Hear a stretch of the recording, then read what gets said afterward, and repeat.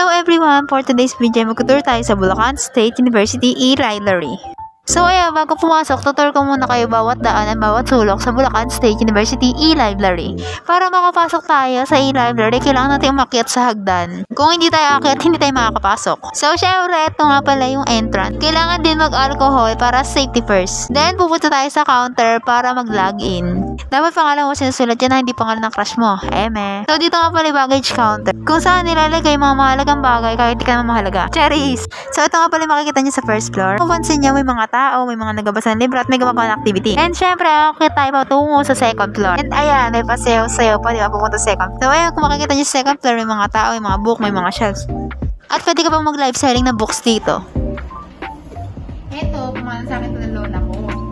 Ito, nagkakalaga ng 2,600. Pamay na lang po dito for only 2,600. Charot lang. Kung gusto mo nga pala mapagod sa pag-akyat, ganito kayo mong pag-akyat. So, dito na nga pala tayo sa third floor. So, napapansin nyo, maraming upuan, tsaka maraming table. So, dami ng upuan dito, pwede mo tayo hampas sa klase mo. Chari. So, pumunta nga pala tayo sa karaoke room. Char lang. Sa mga gusto mo mag-isa, pwede pwede kayo dito. So, ayan, nagdadrama-drama pa nga ako dyan. And syempre, akit naman tayo patungo sa fourth floor. O, oh, di ba? Kapagod na makiat. So, dito nga pala sa fourth floor, dito yung office. Facul, sobrang laki na ito, pwede pwede ka na mag-tiktok. After nga pala nun, fifth floor naman tayo. Di ba? Pagapang na. So, dito nagaganap yung meeting at may AVR. After naman ito, paakit naman tayo sa 6. Binuhat ko na nga sa pagod. At ayan, nag spy spy pa kami dyan. Welcome to Pisunet, Charis! So, dito maraming computer.